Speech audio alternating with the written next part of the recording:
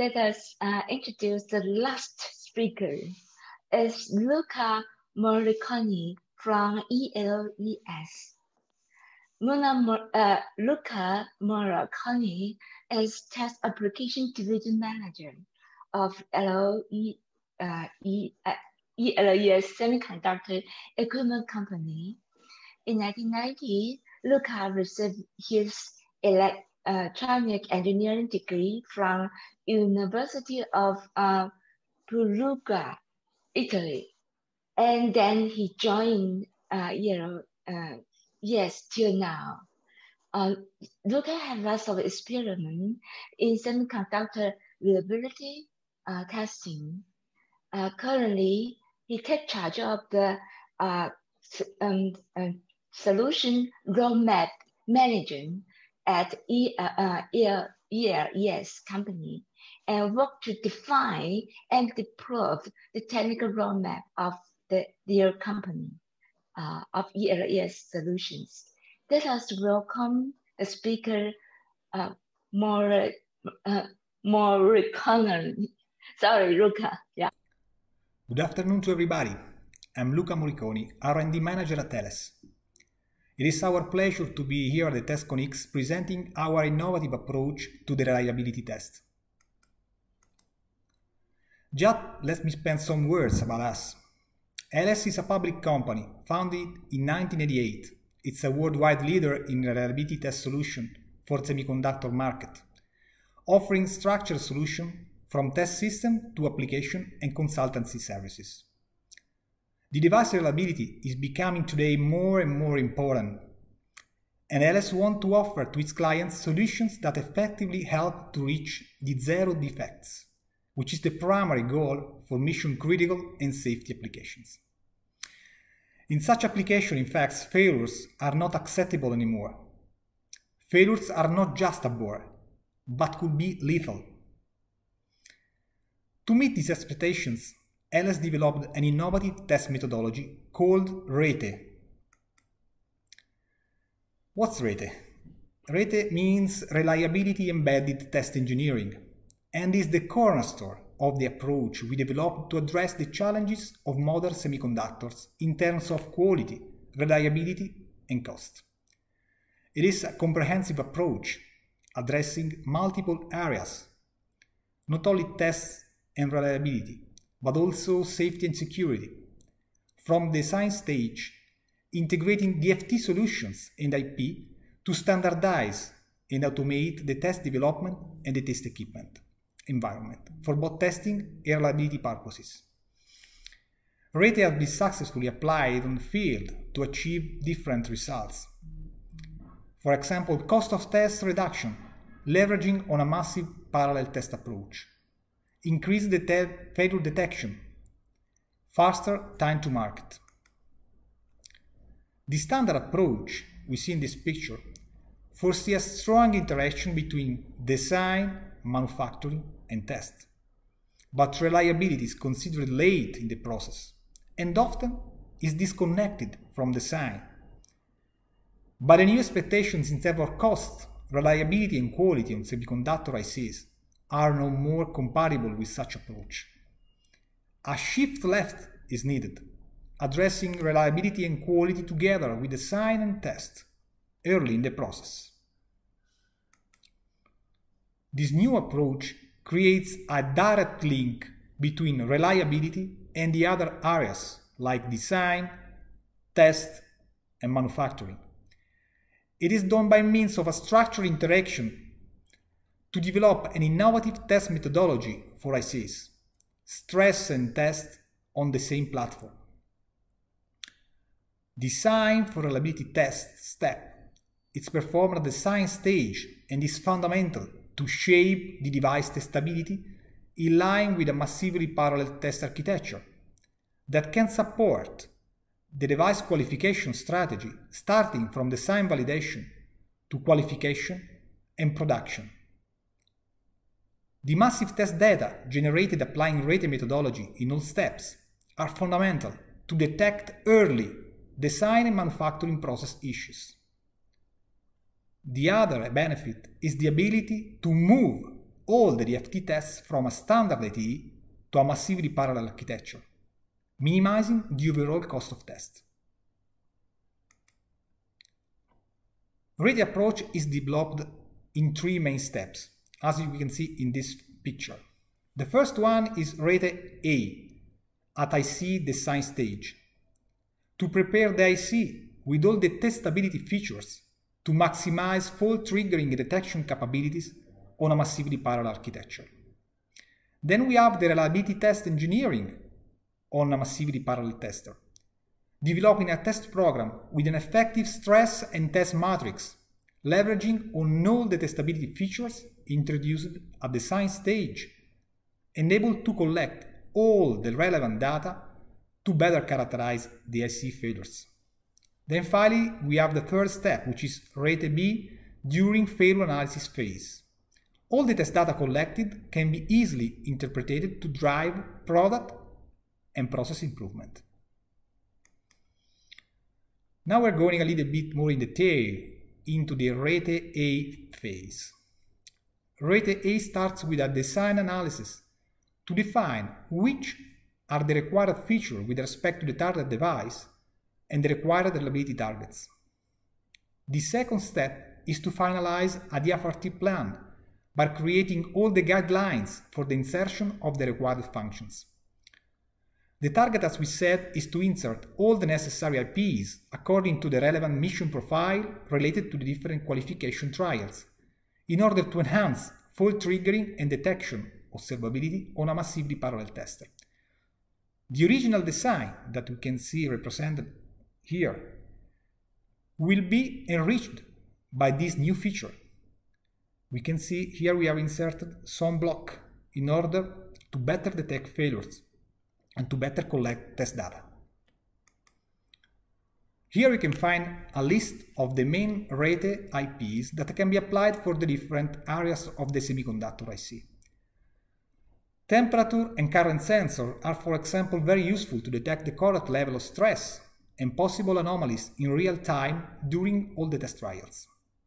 Analog to digital converters and analog BIST are useful to cover the analog domain, usually critical in terms of access and observability on a massively parallel test architecture. When it's not possible or convenient to insert a testability feature inside IC, because of, for example, silicon constraint or cost constraint, a different approach can be applied.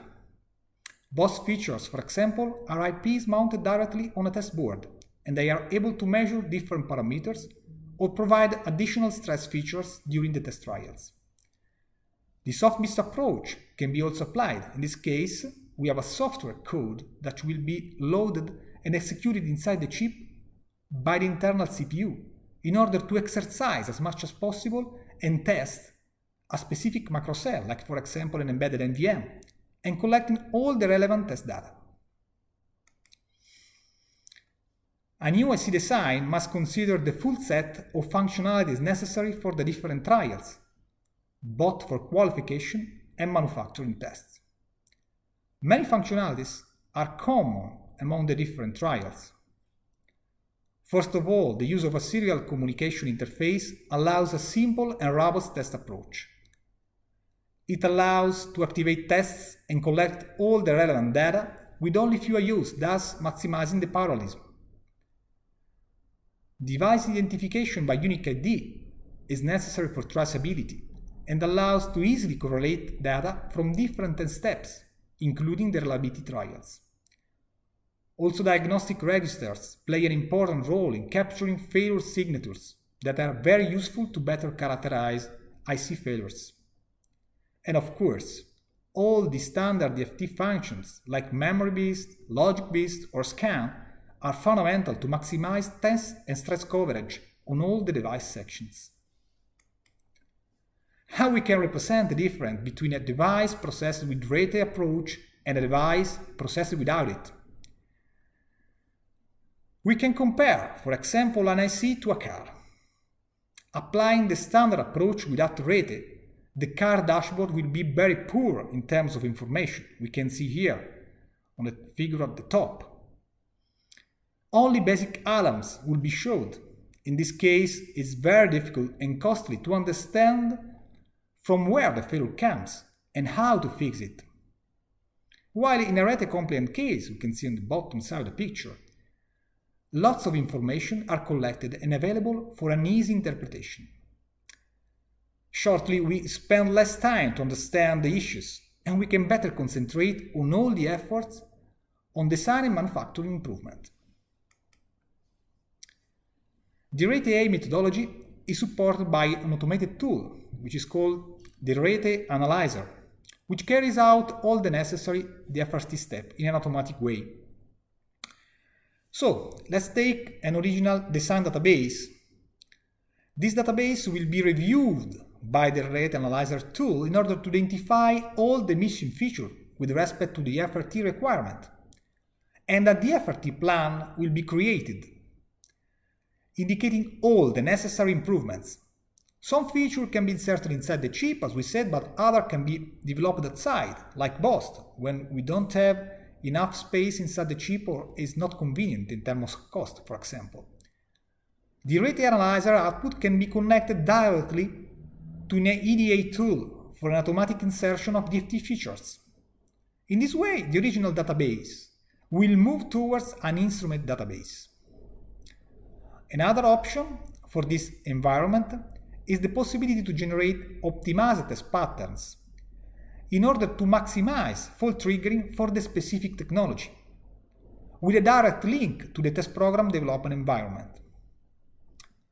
All the design for features that we insert at this design stage can address multiple areas at the same cost. Testing, reliability, functional safety, and even security.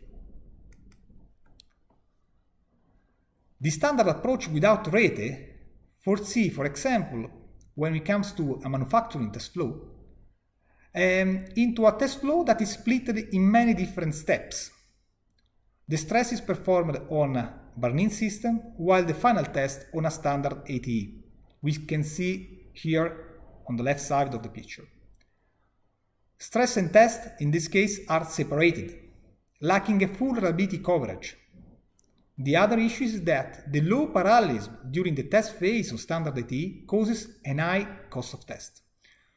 So, the other cornerstone of the Rete approach is the use of a universal massively parallel tester that enable the possibility to perform stress and test in the same step.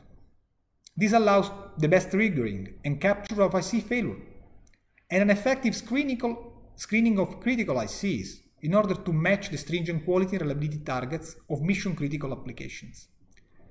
All the failures collected can be classified and relevant data stored to populate a so-called enriched learn from fail database.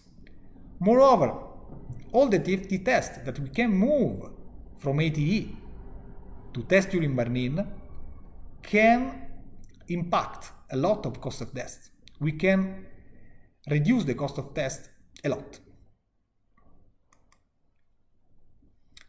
We talked about uh, data collected during the manufacturing test flow. This data will populate a detailed database, which is uh, filled with real-time failure data and other interesting information that are collected by ART platform. This offers an opportunity to refine the failure analysis. So in, in this case, we have the RETE B that close the loop, multiplying the value of the solution adopted with RETE A, all the P inserted uh, at the sign stage, exploiting the information collected during the test trial, and this will drive a continuous and quantifiable reliability improvement process. The failure analysis phase can be simplified, also thanks to the support of a software analysis tool, able to classify failures, for example, by device ID. We have the traceability inside the device. To show failure distribution in time, and the trend of key reliability parameters connected also to diagnostic data. This is a fundamental step towards improving failure rate and decrease early failures. The data collected during the overall test and reliability characterization process can be fundamental input also to set up an adaptive test and test strategy. The test flow on a massively parallel platform can change on the fly based on results coming from different steps, from different data sources such as probe, final test, aging data result, big data, non-conforming lot. In this case, the result is a more calibrated stress and test matrix, which is able to guarantee high quality reliability at minimum cost, which is in line with the current and future needs of the semiconductor market. As we anticipated in previous slides, many of the features required by Rete approach are also can address multiple areas at the same cost. Testing, reliability, manufacturability, and even safety and security. There are several commonalities, in fact, between reliability and functional safety. There are different perspectives of a larger concept of dependability. That means the quality of the delivered services within a certain time period. The ISO 26262 standard requires to adhere to a structured testability methodology to address systematic failures including testability during development, production, service, and operation. This is in line with what we offer with Rete.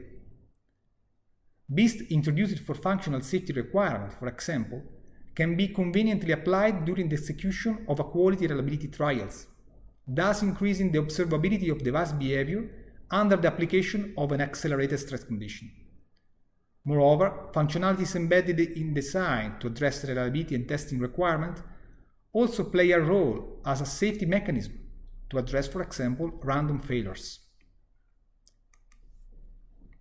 Rete also addresses the implementation of IPs that can be reused for security as well as for reliability testing and safety. For instance, as we anticipated in previous slides, embedded current sensors are important monitoring features to detect possible IC functional anomalies, but can play a role in identifying anomalous behavior that can lead to the identification of a cyber attack, both during the test and during the operational life of the device. Then novel testing techniques can be used to identify the presence of hardware trojans.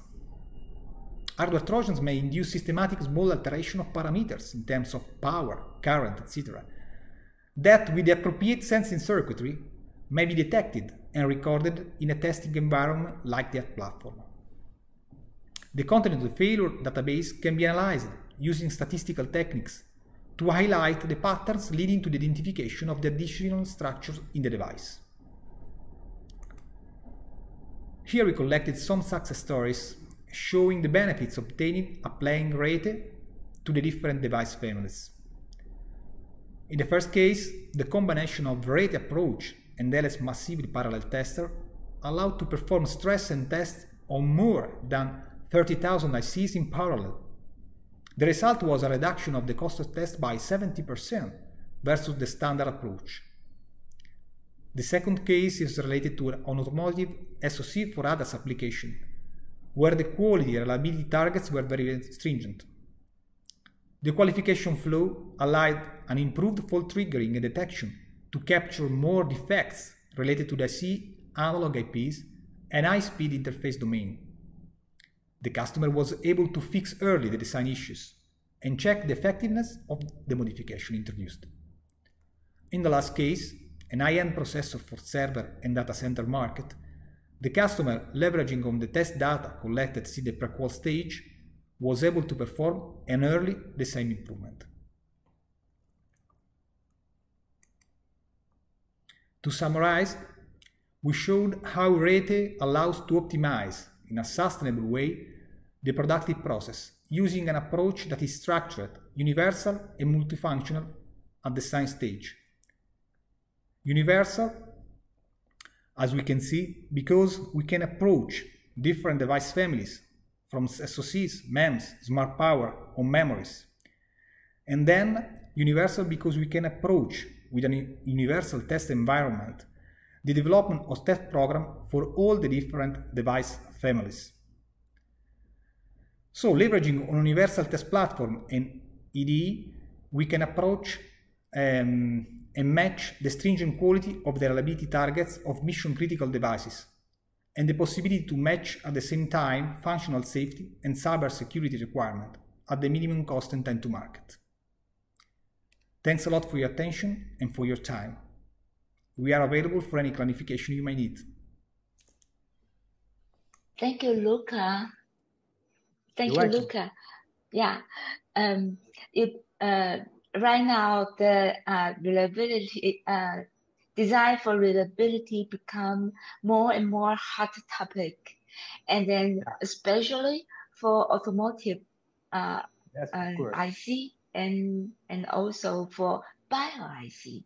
So it is very good uh, information uh, for share with us. Uh, welcome any question from the audience. Question is, when the reliability test ship to the lab, what impact do you think the ship will bring to the final test, like a package test? Okay. Uh, as we said before, um, in our approach, we have to uh, start thinking to the uh, the final uh, step test and the reliability uh, test before before in order to have all the uh, IP that are necessary to perform a very powerful test and test strategy. Meaning, the standard approach foresee a final test on a standard ATE with low parallelism and um, in our case, um, lots of, the, of tests can be moved to a massively parallel test structure. So um, uh, we can uh, we can have a more powerful methodology. We can uh, uh put together uh, stress and test in order to better activate all the failures. In order to perform, for example, high voltage stress on a massively parallel tester. In this case, uh, the quantity, the amount of tests performed on a standard ATE will be reduced. So we have a, redu reduction in terms of cost of test, for example, and also the reliability uh, screening is more effective because we can have the opportunity to exploit all the um, the burn-in time, for example, uh, and this usually in automotive is something that is applied uh, on edge technologies like ADAS, for example, or on critical uh, application. And then during the, the burn-in, we can uh, increase the, the um, reliability screening, putting together uh, interleaving stress and test phases. But this can be done only if we prepare uh, the design testability since the beginning at the design stage because we, what we found on the market is something that's not homogeneous, let me say. Uh, some devices uh, are not prepared to perform um, tests on massively parallel tester. We see that some device families are more in line, but others are not. For example, system on chips with uh, embedded NVMs uh, could be uh, more uh, in line, but for example, smart power or MEMS devices are not. And so our effort is to prepare also um, solution for this kind of devices in order to have this approach uh, adopted on a wide uh, number of device families. Thank you, Luca. And uh, they have uh, still some uh, five minutes. And then um, uh, they have one question is, we have a mentioned approach. Uh, does this uh, design for reliability you have been present can be used for IC security? Can you uh, share more? Yes. Yeah, uh, Rete, as we uh, explained, um, is positioned to extend um, the, the approach also to cybersecurity issues. Um, in last years, there are a trend that um, foresee um, that uh, different features can cover uh, different areas like reliability, safety, test, and security because uh, we have to take also in account that the more silicon we add in order to insert such kind of IP, and the more the cost um, on silicon area uh, will um, have an impact. So it's natural that when we uh, works um, adding the, the FRT features, we take into account also how to uh, use this kind of feature also for uh, to detect possible vulnerabilities or threats in the design. So functionality like BIST, for example, or sensor um, have been known to play a role in detecting threats and attacks uh, at IC to IC device. So these functionalities are the same that we use to enhance uh, the reliability test. So basically, we think uh, in order to uh, to have uh, the reliability features in line also with the detection of possible cybersecurity issues. Okay. Then the other the other the other aspect is that we can use our platform um, to try to uh, violate the device, uh, putting in evidence, for example, possible weakness or vulnerabilities. For example, we can use to accelerate the stress of the device, to, to accelerate aging in order to uh, cause failures.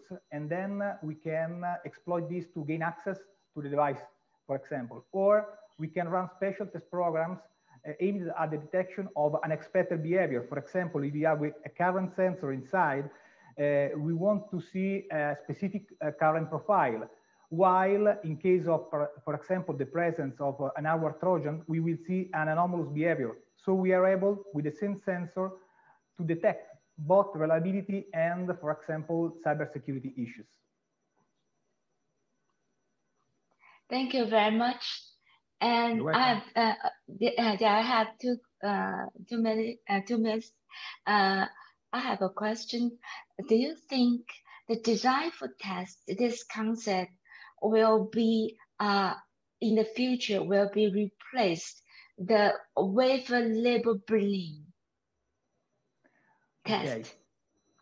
okay, for sure. Um, we talked about uh, package level test. Uh, yes.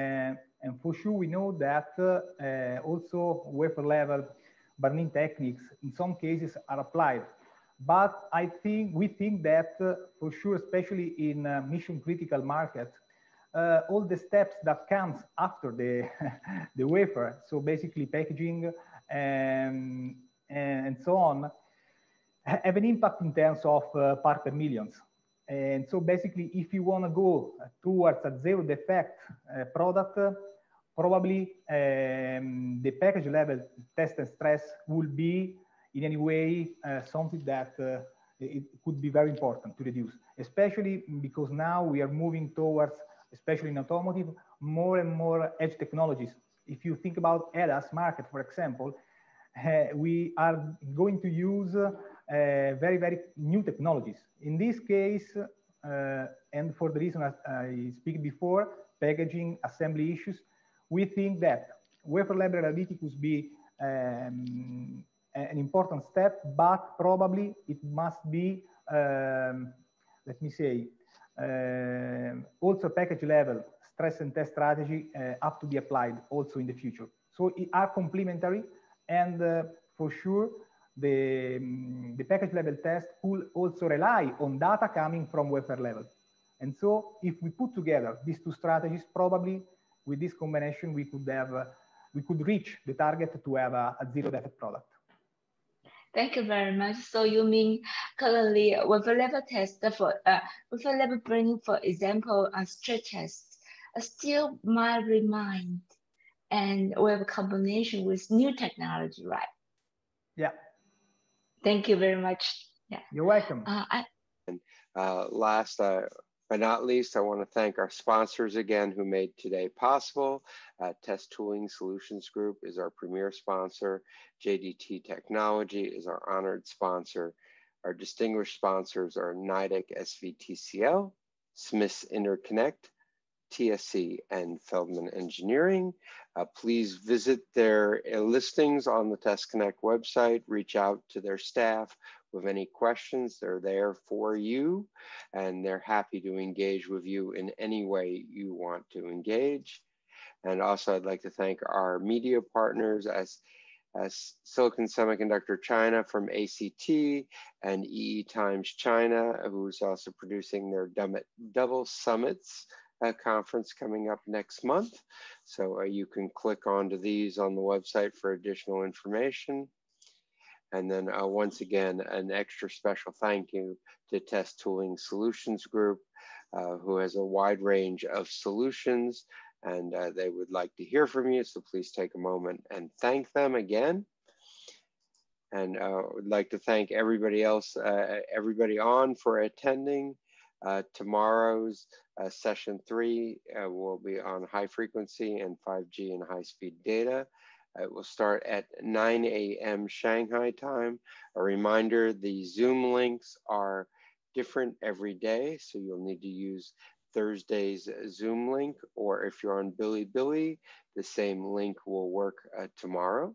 So we look forward to having everybody join us there. And with that, I with that, I would like to wish everybody a uh, great rest of their day, and I look forward to uh, meeting with everybody tomorrow. So thank you.